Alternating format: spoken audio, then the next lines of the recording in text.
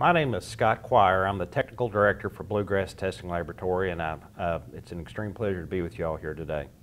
What we'd like to talk to uh, about the next several moments is the superpave aggregate properties and their influence on our, well, the things we're talking about this week in asphalt mixture performance. It has, when you think about it represents 94 to 96 percent by mass of a product. It has a major and significant influence on the product we're trying to manufacture. At the advent of Superpave, it was decided early on there are two uh, points of view on the aggregate properties that are critical to asphalt mixture performance. Those would be the source properties, and those would be the consensus aggregate properties. Uh, from the source properties, the three properties that typically that we're talking about predominantly across the country would be toughness, soundness, and deleterious materials.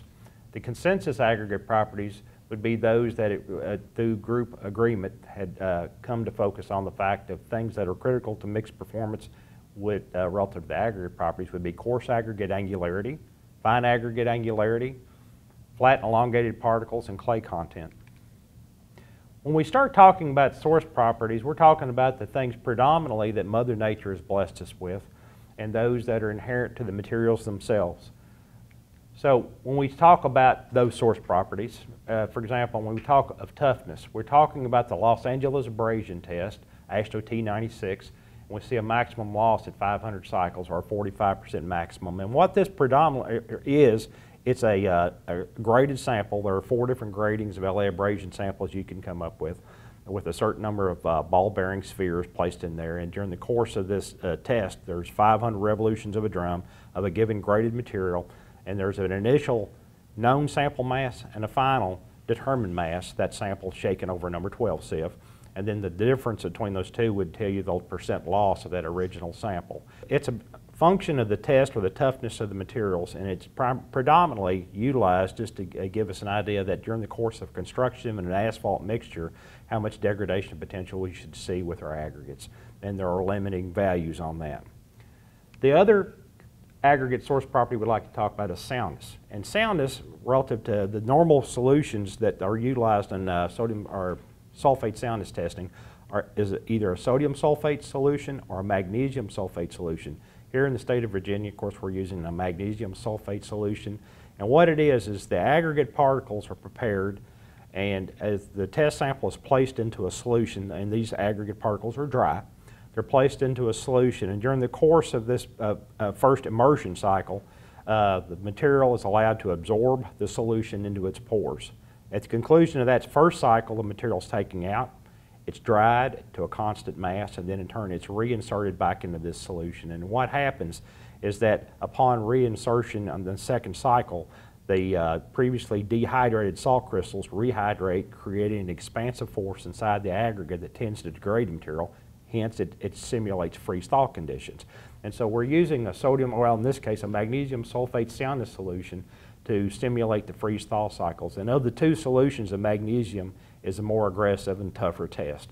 And so in turn, it, it is uh, a pretty severe test relative to, to determining the degradation potential through weathering of an aggregate.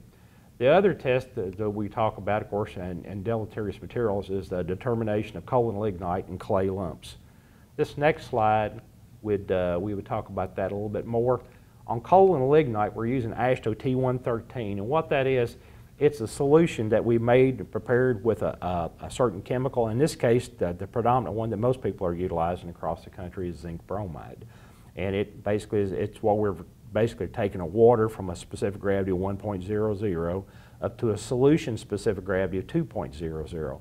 So with that sample prepared, then we take a prepared aggregate sample that's been soaked, taken out, uh, brought to a saturated surface dry condition, and then in turn that aggregate in that condition is introduced into this heavy media and tried, and you basically through the course of the testing, you're stirring the sample to see if any of the aggregate particles float. So if they do, they're specific gravity less than 2.00, and that's determined to be uh, an inferior product. We separate the materials based on whether they float or don't float. And then based off the differences of the final sample masses of that, it tells us that uh, we can determine a percentage of material that fails to meet that criteria. In this case, you can see a 0.25% here. So if we had something in excess of that, we have a, a, a certain amount of coal and lignite beyond what's acceptable.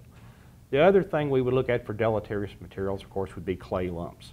And clay lumps we're going to test in accordance with AASHTO T112. And what we're doing is preparing aggregate samples that are allowed to soak overnight or 24 hours in water. At the end of that testing, our soaking cycle, the material is taken out. It's basically tested in hand to see if it degrades, and if, if it does so, then in turn it's determined to be a friable particle. So there will be particles tested at the end after the sample is prepared that will have uh, materials that don't degrade and materials that do degrade. Uh, the difference between those two would help us determine uh, the percentage of clay lumps. In this case, a maximum loss by weight would be 0.25%.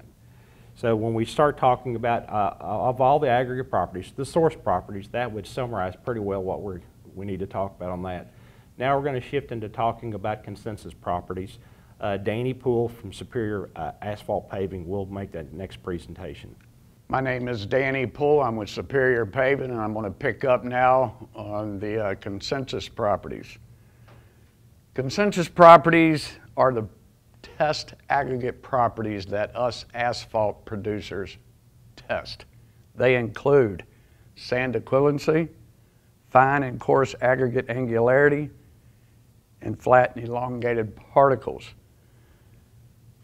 Typically, these properties are run on individual aggregates used for the mix design. However, it is the blended values that govern the results. That allows us, if we have a particular aggregate that may fail on one criteria, to incorporate that into our design because we're looking at the blended aggregates of each one of these properties to see if it passes the minimum requirements. The first step of any successful mix design is to know what material is available to us.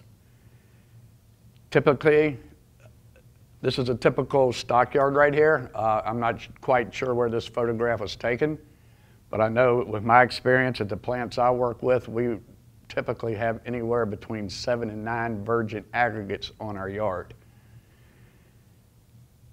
So it's very important as us mix designers to know and be successful in doing a mix design the first couple of steps. One, knowing what we have, and what all and to know how to run these properties proficiently, effectively, and also know how they affect our mix during design and during production. Also, knowing what's available to us. You know, if we're dealing with an aggregate that might have a particle shape issue or have a gradation issue or have a clay content issue, uh, we always have that advantage to go talk to our aggregate suppliers to make adjustments. And it's happened to me many times in the past where we had to alter a gradation to make a particular design work. Most aggregate producers I've worked with have been very receptive in helping us to adjust gradation bands. So the first consensus aggregate property test that we're going to look at is our clay content, our sand equivalency test. So the sand equivalency test is a measure of clay content based on the sand equivalent value. The sand equivalent value is computed as a ratio of the sand to clay height readings expressed as a percentage, meaning once this test has been ran and we do our math calculations, it's going to yield us a value, the sand equivalency value. The greater the value, the better off we are. So if you're getting sand equivalencies in the high 60s, 70s, 80s, and 90s, I have seen plenty of them in the 80s and 90s. That represents a very good product. It means that the binder is going to adhere to that fine aggregate, ensuring that it's, you know, it's being bonded. If the sand equivalency value yields us a low number, we're going to have bonding issues. It probably means there's some clay present and it's going to be difficult for that binder to adhere to our aggregate and it's going to show itself out on the roadway. So typically, we obtain our sample and it's measured on material passing the number four sieve. The specifications, as you hear it, see in the slide on uh, if you're doing an airport job or a federal specif- specified job. Specifications will vary depending on their specifications, but on VDOT mixes, other than an SM 9.0A, all VDOT mixes, the minimum requirement is 45%. And that is a blended. If you're using two or three fine aggregates in your mix, and later on in this class, we're going to do this exercise where we're blending our aggregate properties to see if it meets this minimum of 45%. 9.0 mixes, the minimum is 40%. This picture here is the whole, it was all the equipment that is needed in running the sand equivalency test. To the left of that briefcase is a gallon jug, and it is mixed. It is a solution that suspends our clay while the sands settle to the bottom of the graduated cylinder that's laying in the bottom of that briefcase. That glass jug is to be uh, above your countertop by 36 inches, and the contents of that glass jug is a calcium chloride mixed with distilled water. They call it a flocculating solution, which, which suspends, again, your clay particles. In this class, you're going to be giving specifications, you're going to be giving handouts of AASHTO specs, VTMs, ASTMs. I urge you to be familiar with them specifications and know how to obtain your samples from the stockyards on all these samples, on how to reduce them to sampling size. So particular on this test, it's probably a reason why we run three of these and we average to three because great care needs to be taken when obtaining your sample to avoid segregation. If you segregate a sample and it's on the coarse side, there's not a lot of fines down there, that could yield us a high sand equivalency. On the other extreme, if you're not careful and you get a sample that's very, very fine, segregated on the fine side, you have a lot of the 100 and 200 material in that sample, could yield you a lower sample equivalency value. To the right, the picture in the slide here to the right is an example of a mechanical shaker in our specifications, there's three different means the way we can agitate our material once it's introduced into that graduated cylinder. So that's one of the methods there is a mechanical. You have a manual shaker that it operates on a spring. Then you have the old-fashioned hand method that you just use your hands left to right. And all three methods have different cycles, different, and one cycle is one action left to right, back and forth is one cycle. And uh, please read your specs on, there's different cycles depending on which method you choose to use. Okay, so when we introduce our 85 milliliter sample into the graduated cylinder to the fore, we tap it to, to get it wet and we let it stand for 10 minutes. Then we're going to irrigate our, using our irrigation tube, we're going to irrigate with a stabbing motion all the way to the bottom of this, to this pedestal here, and we're going to flush out all the very, very fine particles of 100, 200 particles. We're going to flush all that out. And we're going to keep doing so until the level, our level reaches to the top of the cylinder where it's marked 15. At that point, we're going to set our timer and we're going to let it set for 20 minutes. At the end of that 20 minutes will be our first reading, and it is called the clay reading. And we'll write that down. The red line, there's going to be a distinction between the, our solution, that is a suspended clay right there, and this is our sand matter. After that reading is obtained, we're going to put in our uh, weighted foot. And when that's introduced easily into our cylinder at the top of the white marker. We're going to take another reading. We're going to subtract 10, and that will be our sand reading. So when our clay reading and our sand reading is captured, we do the math, and it'll yield us our sand equivalency value. It is recommended that we run three of these and average to three. There's just a uh, animation there of what we just discussed. The graduated cylinder has its solution inside. Here's where all the heavier, the sand, sand granules settle to the bottom. That is our suspended clay, and there's where we get our readings from. You do have sands. It could be either natural sands. It could be a number 10 from the quarry. It could be a manufactured sands. A lot of the quarries today make manufactured sand, which is a washed tin. It's processed in different ways to manipulate particle shape. So you can run this test on numerous fine aggregates. So some of these fine aggregates have the presence of clay. The minerals are different. You look at these two bullet points here, so you might have one clay mineral, it's more of a lean clay, and you might have another clay mineral, it's more like a clay, like a modeling clay type. But either one of those are present is going to yield you lower sand equivalency values, which is really going to give you the, the potential of stripping. I'd like to give you an example, a job I was part of years ago. We were running an E designated mix, which is limited to 15% RAP.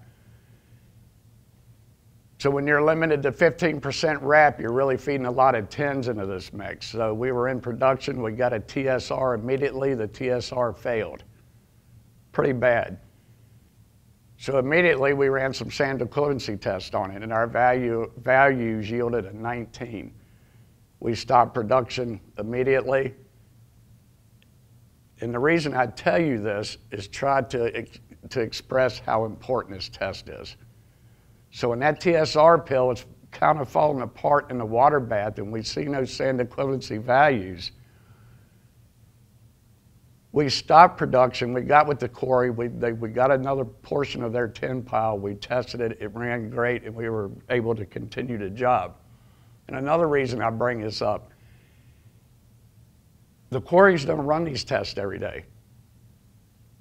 They don't have the equipment in most of their labs. They have central labs, and it's why I said when we started, when I first started, not only is this important at design time, it's also important during production.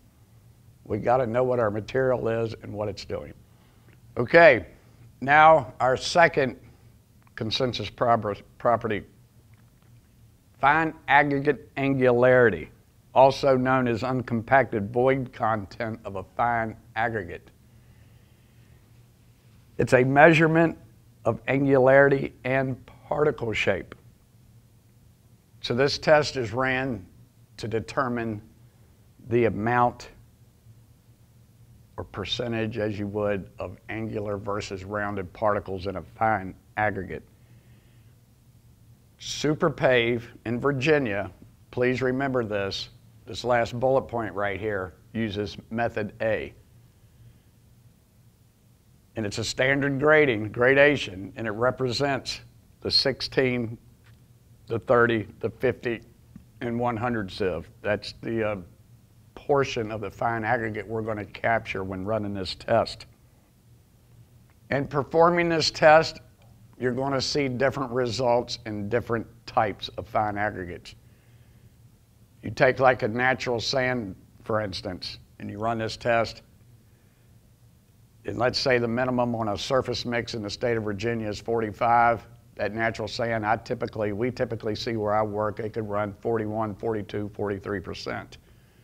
A manufactured sand or a number 10 from the quarry, which is quarried material, it's, you know, it's not rounded, that's going to yield you a higher FAA value. Typically, I, we see 48s, 49s, and 50s.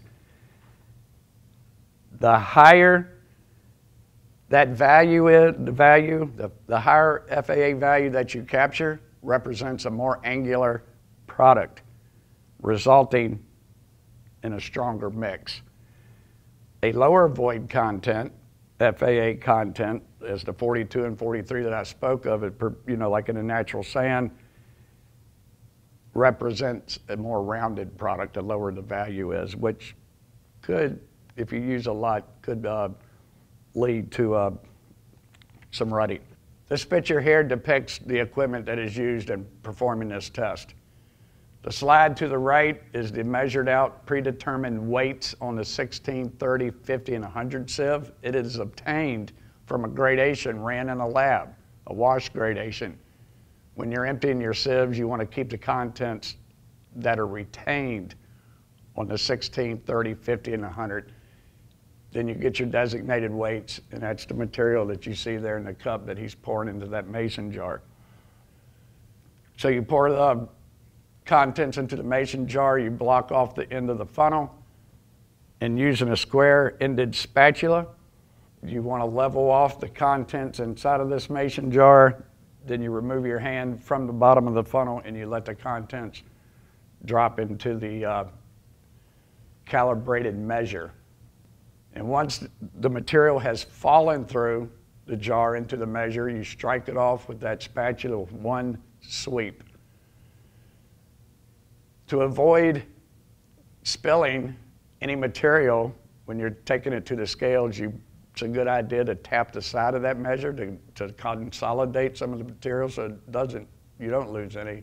Then use a fine brush to brush any uh, material that's collected on this base here.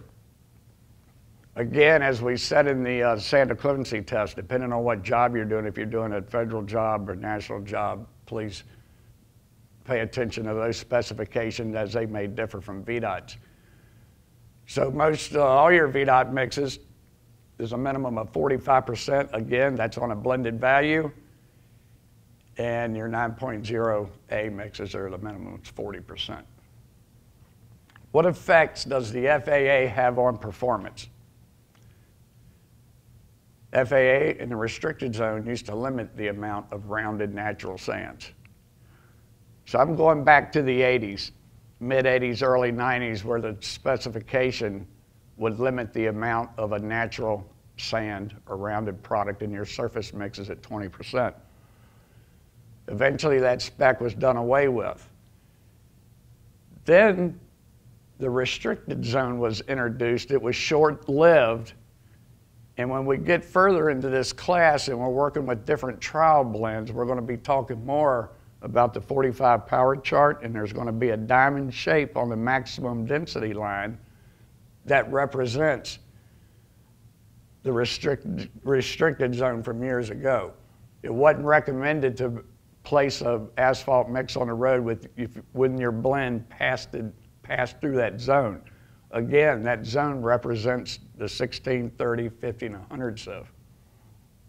So now that that spec has been written out on the amount of rounded particles you could use, the restricted zone is no longer in play.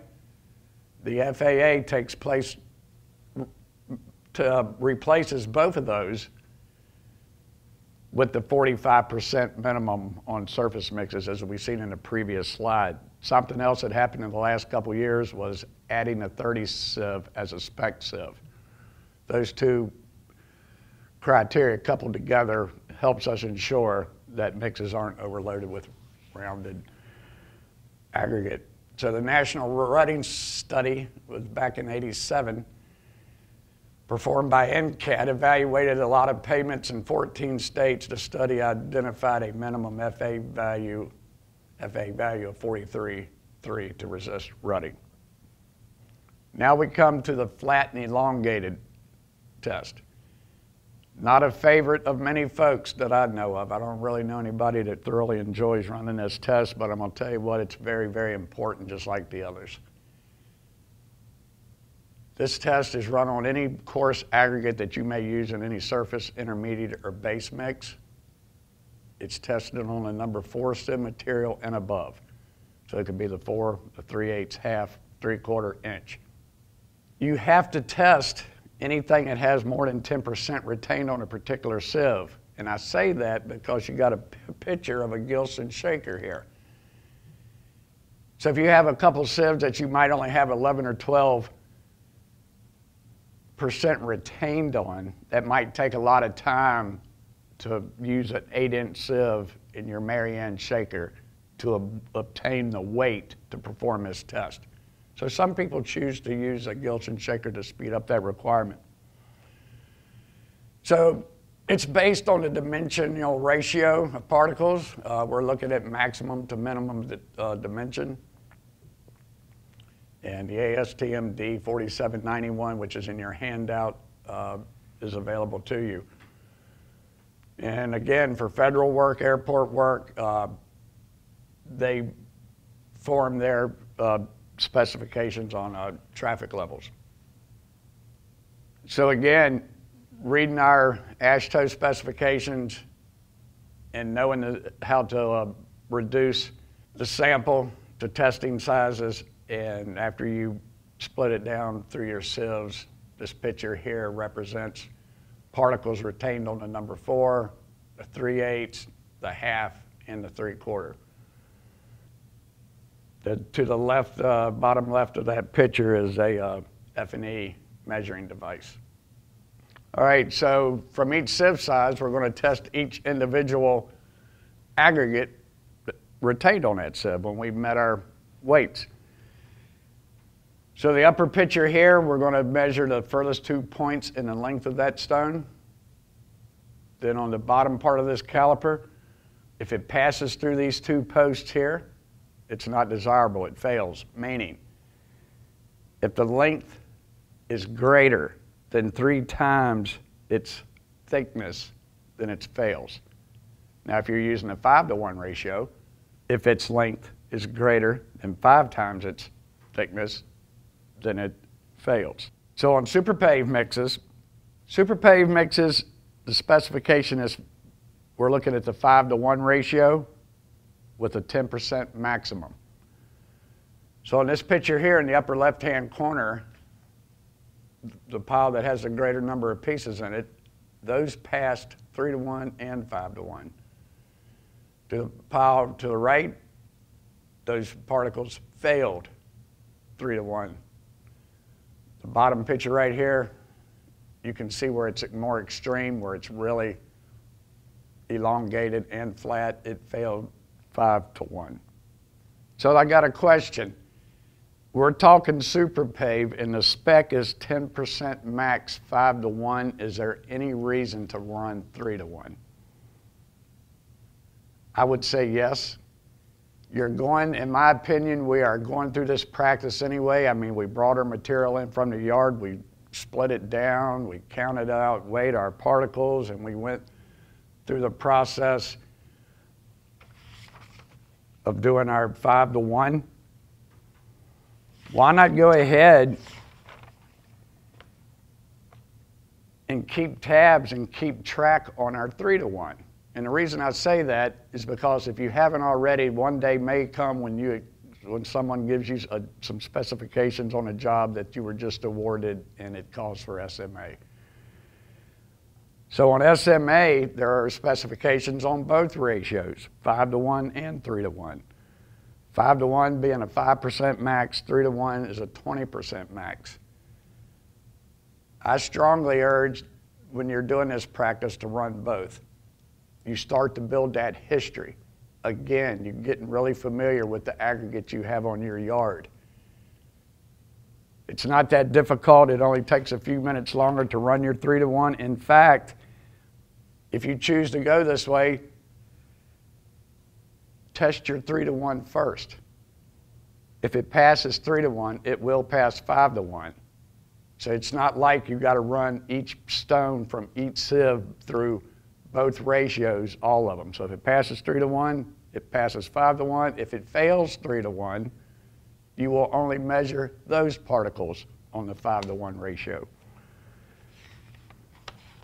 Sometimes it's better to establish our own history. I think it's all the time better to establish our own history, to gain that knowledge, to know what's in our stockyard, so we can compare our results with the quarry to see if there's any discrepancies. And if there is, gives us an opportunity to figure out what's going on and work it out. So again, national specifications, as we talked in the last two tests, if you're presented one of those jobs, please read those specifications. VDOT specs, Superpave, as I stated earlier, all mixes shall have less than 10% at 5 to 1. SMA, They're at the bottom of the slide. Those are the two ratios that are put in the specifications on your SMA. So what effect does F&E have on performance? A lot. If you're working with a product that exceed that uh, exceeds the 10% on the five to one, or if you're right there on the border, you know those particles tend to break under rolling, and uh, it promotes uncoated faces. It could lead to stripping of the asphalt film off the aggregate. Particles tend to reorient under traffic, reducing pavement voids. Could or may lead to flushing.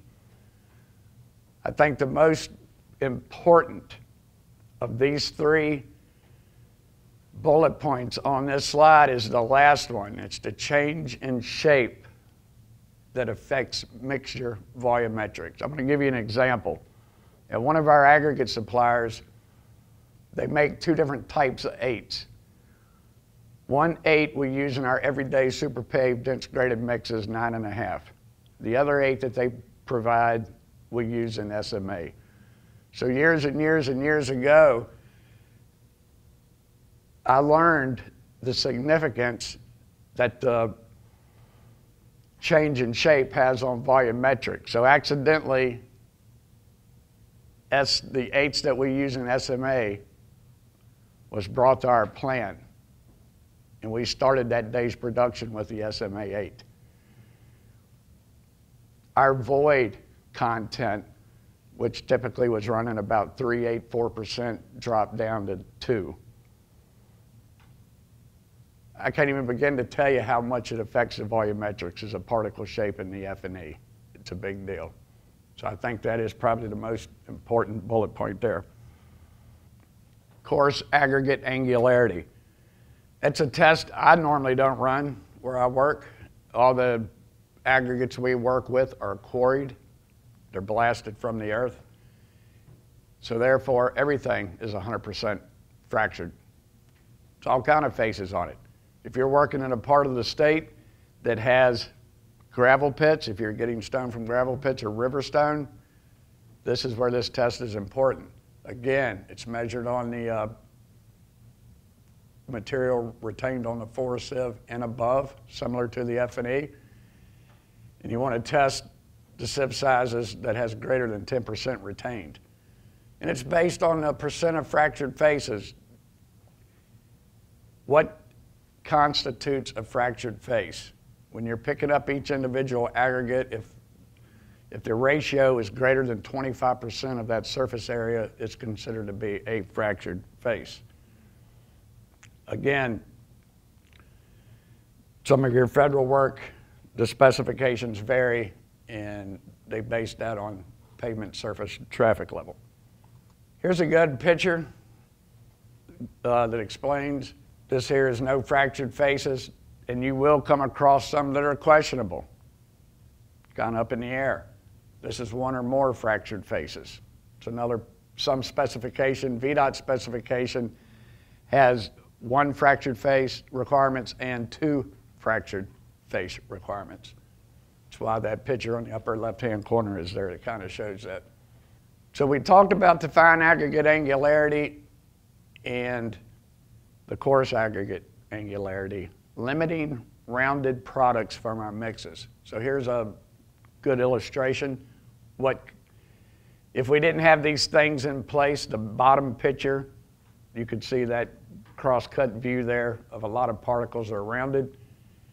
The top picture cross-section view is of a more angular product with the limited amount of rounded particles.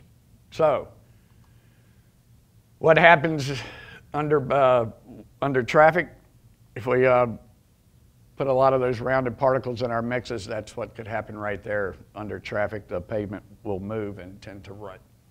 So as I noted a couple times during the uh, going over these tests, all consensus properties are specified on the blended material. You can have an individual aggregate can fail one of the criteria as long as the blend passes. In addition to the consensus properties, the mix designer must also measure the specific gravity of the aggregates used.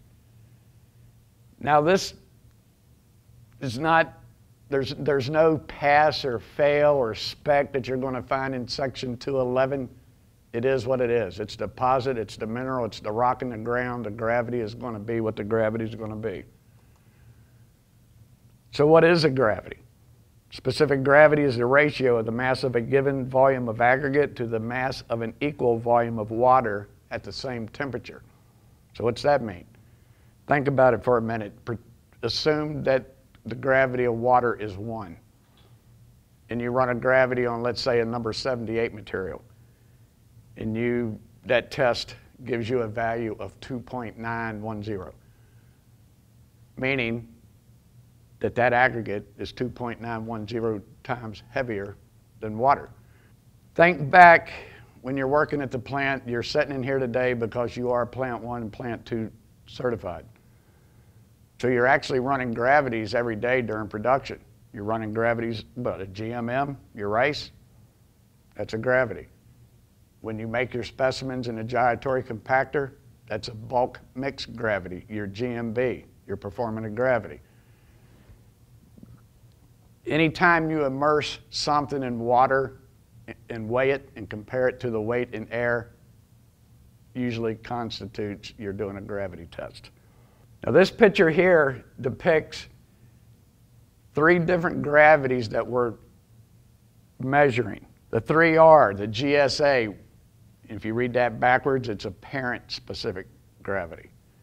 The other one is a GSE, which is the effective specific gravity. And the last one is a GSB, the bulk specific gravity. So you may be wondering why I mentioned the GSA, the apparent specific gravity. That gravity is not used in any calculation on any asphalt mix design that we're working on. But we're going to run it. It's a practice we like to use and run anyway. It's just a simple, I mean, you've gone through the motions of collecting the material, breaking it down, washing it, sieving it over a four sieve, doing your 15 to 19 hour soak, all this stuff. It's a simple calculation to calculate your GSA, and we're going to do it for a reason. So when you look at those three gravities, let's start at the heaviest one.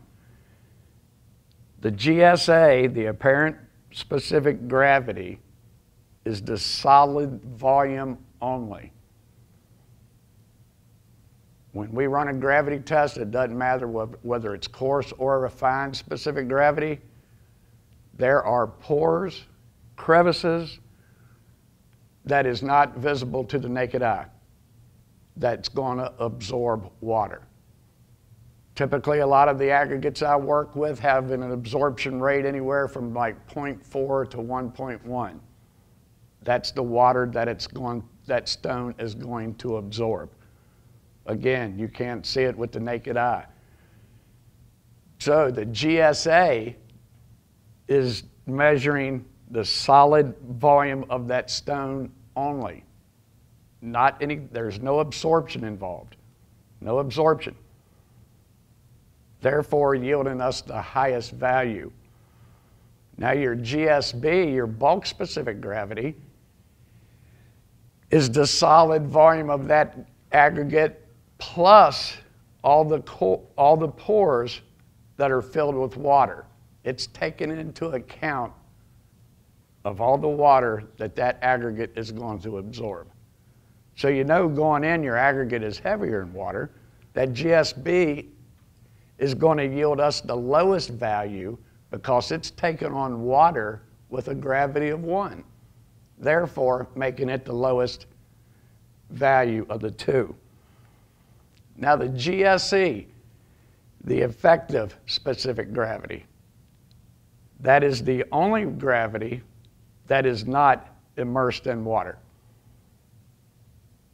Again, when you run a GMM, you run a GMB, when you do your GSB and GSA, you're immersing those in water. Your GSE, you are not immersing in water. It's a mathematical calculation. It's done at the time of design, and it's done on every volumetric sample that you run during production. It's calculated off a percent binder, percent stone. Your GMM and your binder gravity. We're going to talk about that in a moment. So the GSE, the reason the GSE should fall between the GSA and the GSB on a numerical value. Now the GSE predicts the amount of binder that aggregate is going to absorb. Now water is going to penetrate further into that aggregate than binder will. So remember that the GSE recognizes the difference between asphalt and water permeable pores. So when you're doing the design, again, another reason you run your GSA and your GSB, your GSE is always going to fall in the middle. If it falls outside, if it's heavier than the GSA or if it's lighter than the GSB, rest assured a mistake was made. This illustration here is somewhat outdated and sometimes hard to decipher exactly what it means. I feel that there's a better picture, graphic, that explains GSE, GSA, and GSB in your mixed design study guide in chapter three. Okay, now we're going to walk through a couple of our gravity tests. The coarse aggregate specific gravity is measured on all coarse aggregates the aggregate fraction of that sample, everything retained on the number four sieve and above. So once you bring your material into the lab, you reduce it to specifications to the sampling size. You want to wash that sample. You want to dry it to a constant mass. Then once it's dried, you want to soak in a water bath for 15 or in a pan for 15 to 19 hours. After it's soaked for that amount of time, you want to determine the sur saturated surface dry. That is a weight you will, will record. Then once that weight is recorded, immediately you want to put it into your water bath and capture a underwater weight. After that weight is captured, you're going to dry to a constant weight. You're going to cool at room temperature and you'll weigh the contents. It is always recommended to run at least two of these tests and average the two samples. Fine aggregate specific gravity. Again, you're bringing your material into the lab, and this time we're going to test the fraction of the sample that passes the number four sieve. Unlike the coarse aggregate, we will not wash this product. We're going to run as is, whether it's a tin, a manufactured sand, or a natural sand, but we do want to dry it out first. And the reason you might be thinking, well, if we're not washing it, can we introduce water to it immediately? Not so fast. You want to dry it out. It gives you a better, it gives you more accurate absorption value. So you're going to soak it, in, after you dry it, you're going to soak it again for 15 to 19 hours using some warm, warm air, not an oven. Uh, you want to slowly dry to achieve your SSD weight. Once you had achieved your SSD weight, you need to capture 500 grams plus or minus 10. You want to place those contents in a pycnometer with water and agitate until all air is removed. Weigh and transfer to a pan and dry. Here's some testing apparatus that you will need to run a fine aggregate specific gravity, your pycnometer, your uh, cone and tamping rod. So we're going to de determine our SSD, our surface saturated dry, based on the cone slump.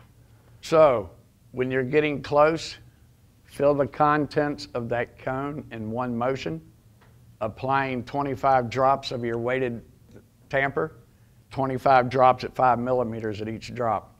The slide to the right, the picture to the right represents, it's a good picture of uh, achieving SSD. Now you will have aggregate that may have a higher FAA value which represent it's going to be more angular. Or you could have a fine aggregate that has a very high 200 content. In those aggregates, you may not get the same result on those aggregates as you see in this picture here. It is said to consider when removing that cone on those type aggregates, if you have one side that collapses, then it's SSD. So what happens, why, and you want some repeatability. You want some repeatability and you want to be consistent on every aggregate that you test. So what happens if we miscalculate our SSD? What if our material is too wet?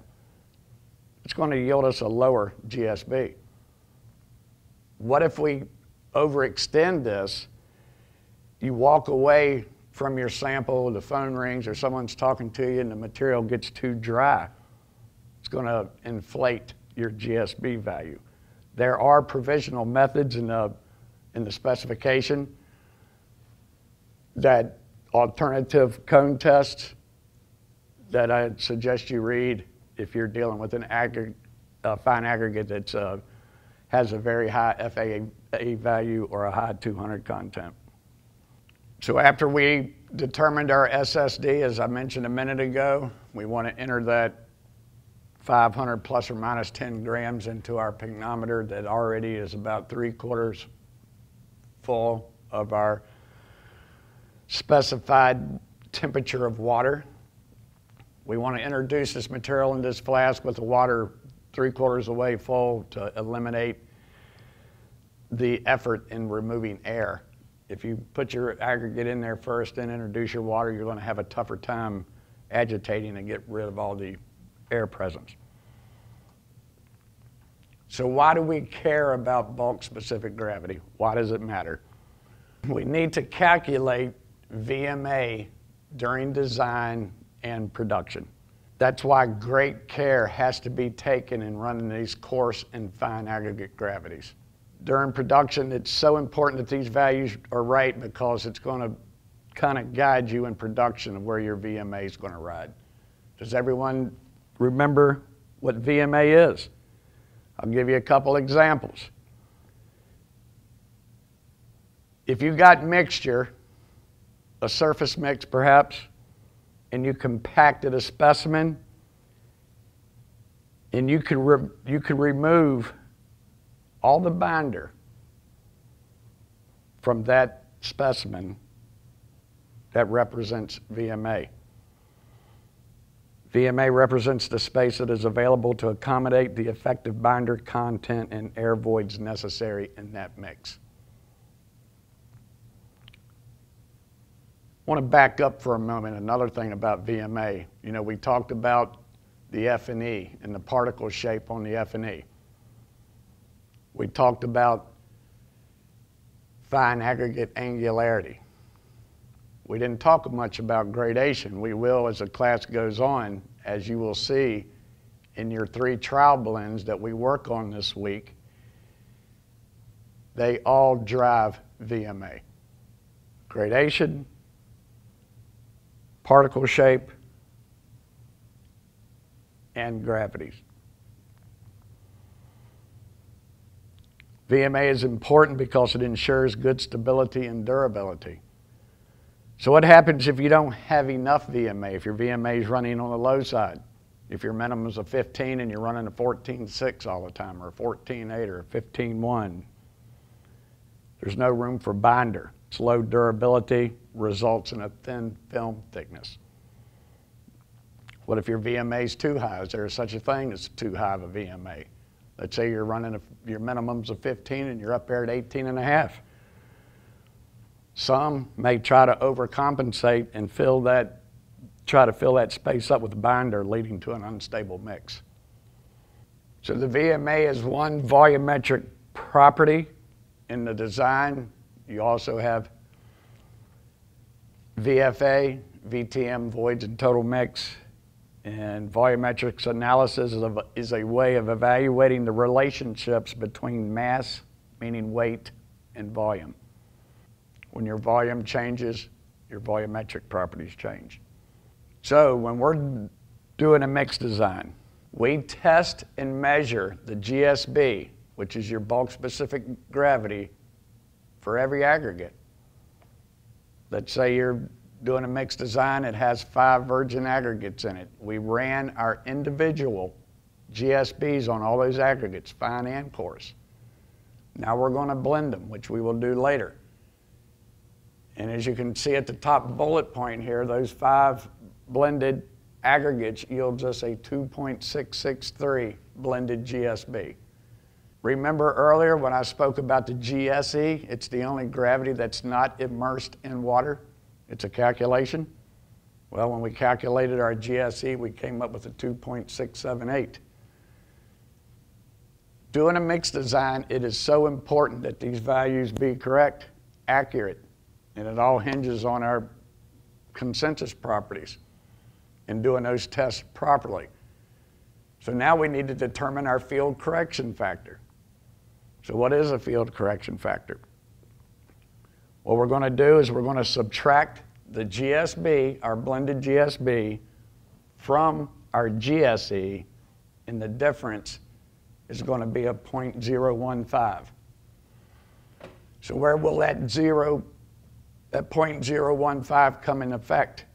Once we get into production, as I said earlier, every time you run a volumetric property test during production, your GSE is calculated. So you're going to subtract the field correction factor from your GSE. It's calculated in a lab to give you a GSB.